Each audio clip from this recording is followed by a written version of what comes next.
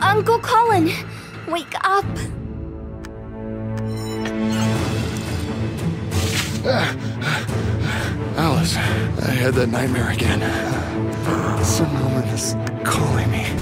She needs my help. Her face seems familiar, but my mind's hazy. I saw a lonely island with a two headed mountain right in its center. Maybe she's there. Look! That's the woman I saw in my dreams. Oh no, she's bound by the darkness. How to free her? I must tell you something very important. The darkness knows the location of the city. We must warn them. I came up with an idea. The question is, will you help me? The Forbidden City will suffer greatly, but this is the price for becoming free.